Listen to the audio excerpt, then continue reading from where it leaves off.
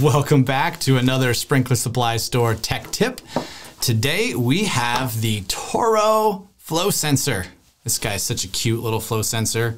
Uh, what is the model number on this? This is a TFS Toro flow sensor.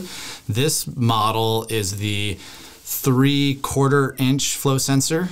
And actually, I've got another one right here too. There's two for us today one inch and three quarter inch. When you hold them up, you can see that this one here is much smaller. It's not much smaller, but it's the three quarter inch size. And then this is the one inch size. And I wanted to just take a few minutes to talk about what a flow sensor is, what it does, maybe how it works, how you can uh, maintain it, clean it. And I personally spent uh, almost 15 years working with commercial irrigation control systems, specifically with the uh, Baseline brand, Baseline Control Systems.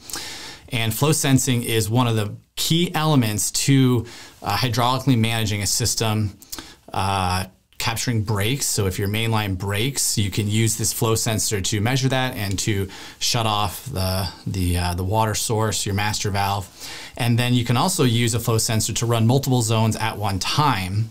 So if you have 30 gallons a minute available and your zones are set up as 10 gallon a minutes each, you can run three zones at a time to maximize that 30 gallons a minute of hydraulic capacity. However, you need a flow sensor like this in order to do it. So this happens to be the Toro model. The reason I'm demonstrating it for you is because it came back to us here at Sprinkler Supply Store as a return.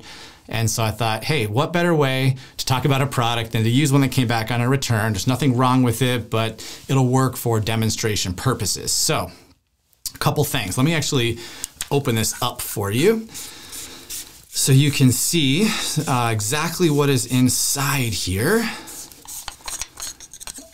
essentially there is an impeller. I'm just going to slide this out. There is an impeller that spins. Let me get this close to the camera. See how that spins? So that's all it's doing. Water is flowing past. And as this paddle wheel impeller spins, it puts out a pulse. So we have our two wires here the red and the black, and basically there's a pulse coming out of here, almost like contacts were touching, and it's going pulse, pulse, pulse, pulse, pulse. And then depending on the model controller, let's say in this case it was a Toro controller, you will enter what's called a K factor. And that converts pulses uh, to gallons. So every time that paddle wheel spins, it's sending out a pulse signal, which is a certain amount of pulses per gallon. And that's how the system can translate between pulses and water consumption. Um, let's see. With that being said, it is once in a while to remove these, you know, make sure there's nothing clogging them, make sure that they're clean. Sometimes debris that's in the pipe from PVC shavings or just, you know, sand and, and dirt can get in here and clog them up. So it's important maybe once or twice a year or, or just on system startup or even shutdown just to remove this, take a look at it.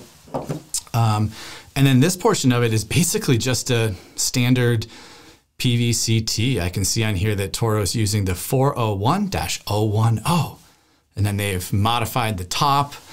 And then the flow sensor is actually just a private label version of uh, Badger meters, um, you know, one inch uh, or just uh, impeller. Um, so let me get this back in here. There's a little bit of grease that is getting my fingers dirty.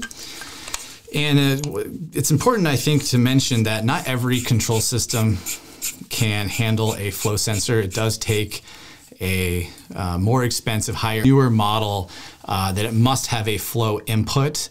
And uh, this is not what's called a click device. This is not like an on and off switch. It actually is reading pulses and converting it to gallons.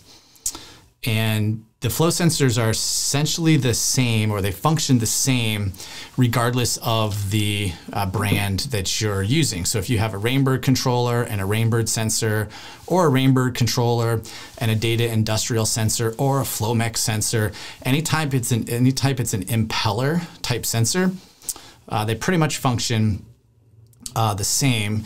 The key being that that uh, K factor. So when you install the sensor and you go into the controller platform settings, you need to enter the K factor. And typically, I've got Toro's guide, you know, the instruction manual right here.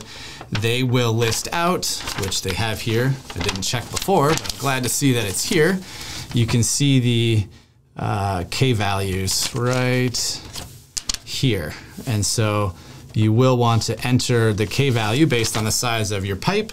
If it's a half inch pipe, and in this case, Toro makes these sensors all the way up to four inch, and they have corresponding K factors that you'll enter into your uh, control system. Um, and I think that is, you know, about about it. Hope that was helpful and informative. A little bit about how flow sensors work and how to maintain them.